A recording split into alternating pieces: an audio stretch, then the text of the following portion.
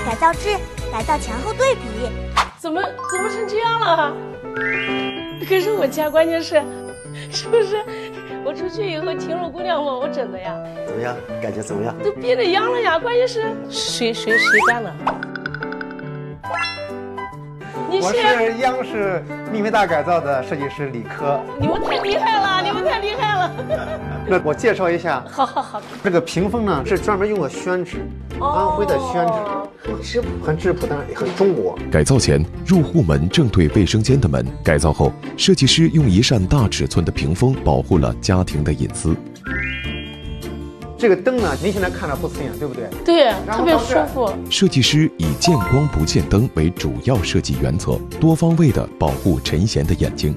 哇，太感谢了！你怎么能想的都是想到我的对那个痛点上面去了？哎呀，太感谢了，好完美，这是我想的那种状态，但是我又设计不了这种感觉。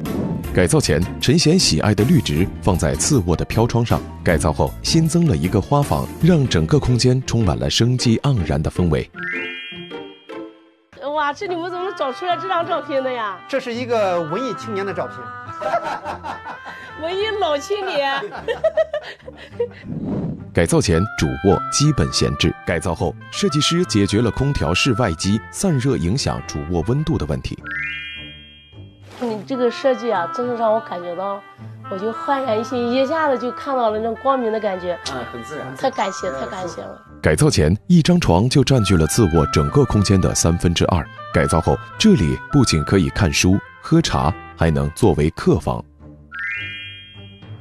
住在这个家里面就是一种享受，很温暖的感觉，然后被呵护的感觉，你知道吗？每一个使用空间的人能够喜欢，这对我们就是一个最大的一个成就。谢谢。